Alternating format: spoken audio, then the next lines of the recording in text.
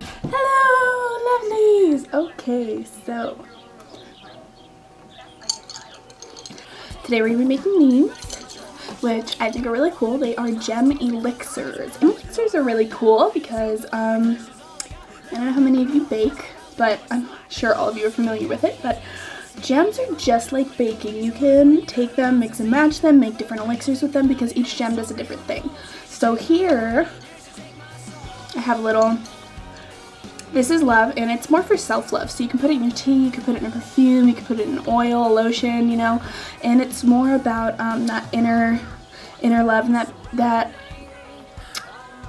the ability to love others. Um, you know, you have to love yourself first, and, and that kind of jazz. And it just kind of puts love into your aura and energy. And love is an awesome thing to have. you can always benefit from more love, so this is perfect. Um, in here, I have rose quartz, um, aventurine, and amethyst, which all have love in common. It could also be used for other things, just cleaning the aura. Um, protection, I believe, is one of the attributes of all of those. And I will show you how I did it right now. So we are going to start with some stones, which I have right here. Um, these are the ones I was just using. Um, I have, you need alcohol um, or vinegar. You can use vodka, you can use anything. I'm just going to use uh, just a tiny drop of hand sanitizer, and all that's going to do is keep it from molding because it's going to be sitting in water for a long time. And then you need a jar or some sort of clear container or glass. I've got a little mason jar right here. And some water. And you're going to want purified water just because um, the more the more clean, the more natural, the better. Um, you can just take water and boil it to get all those chemicals out um, that comes in tap water, but um, whatever you want to do. Okay, and then you're going to want to clean your rocks too. You always want to clean your rocks because some rocks do have um, some poisonous chemicals and um, some poisonous stuff in them. Brief interruption, my puppy decided to join. Hello, yeah, oh, he's so excited. Yay, I'm so excited. Okay, anyways, so as I was saying, you want to clean all your stones because they could have some poisonous materials in there. Um, you want clean water, alcohol, jar, blah, blah, blah. Okay, got everything. So, here are the stones that I have. I used to have so many more. I'm so sad they're all gone.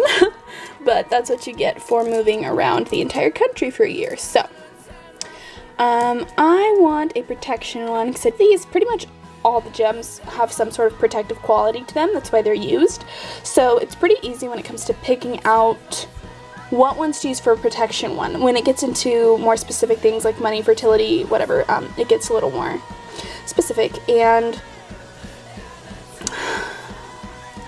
you might need to look look look those ones up because unless you unless you know what every single stone means, which I don't know what every single stone means. I know what they mean to an extent, but I have to look them up sometimes too. So, anyways, I'm going to use rose quartz because it has a protective quality and it's also for love, and you can also get all those those other good things in there. Just because a elixir is specifically for one thing doesn't mean it doesn't also do other things because these stone do a mix stones do a mixture of um things each. So rose quartz, got hematite. This is the best stone you can use for protection. Um, it's probably the most, I want to say this is probably the most protective stone there is. Um, it is just specifically used to deflect negative energy, negative entities, negative, pretty much anything, negative thoughts, negative attitudes, um, just negative energy in general. I really like hematite. So we'll use those two. Um, Amethyst is also a good one. It's a protective quality, but it's also a love stone, and it helps with purified blood and stuff, and it does just a lot of cool stuff. So we're going to add one of those in there. And I've got some clear quartz right here, and all clear quartz does is it's going to amplify pretty much anything you make with it. Um, it pretty much, it's clear, so it does just about everything, and it will like I just said, it'll just amplify everything that your little elixir's already doing. And you can either boil these or you can just wipe them off with alcohol, pretty much anything you want. You really need to consider what you're wanting to do with this um, with this elixir before you make it, just because if you're going to be drinking it, you probably don't want hand sanitizer in there like I'm using. You probably want to use vinegar or alcohol. And you do not just straight drink this. You can put it in with a um, like a couple drops into your tea or something so it doesn't taste so funky. Um, I mean, it'll just taste like water and vinegar, but, you know. Anyways, so now I have already cleaned everything and I do not intend to be drinking this. I like to put it in my sprays and stuff. Just we are going to plop this baby right into. I'm gonna go ahead and take this time to stop my dumb ass right here because this later fell over, chipped, and cut my lip open. So don't set your gems this way if they're shaped like this. this jar carefully because this is a big stone and it might break. Perfect. Hematite. And you're going to want to meditate with these beforehand if you want to. That's optional, but it will strengthen it.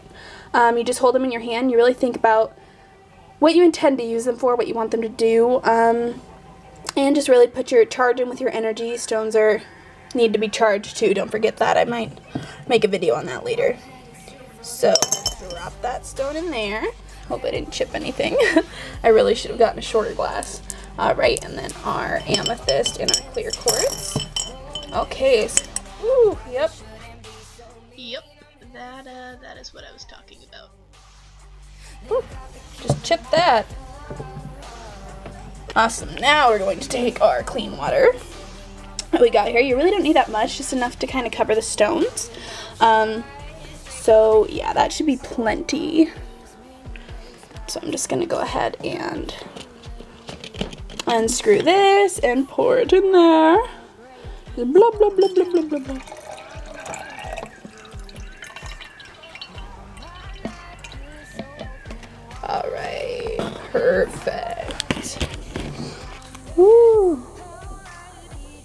Them for any, or for any amount of time just about. You can leave them overnight, you can leave them for a week. It depends on how strong you want it.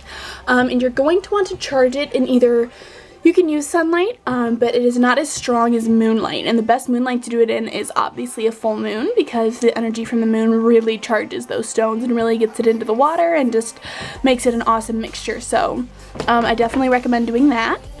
So we are just about to wrap it up for right now. Forget the alcohol. I have made that mistake so many times and you just end up with a moldy tin and it is not fun. And you do not need a lot. That's it. See, I just put one tiny drop in there. And the capsule. Voila, we have this. I'm going to set it in the sunlight because I like to let mine charge for a while. So he will probably be charged in full moonlight at some point. That is about it for the elixirs. So if you guys have any questions, feel free to message me. I really need to get a tripod.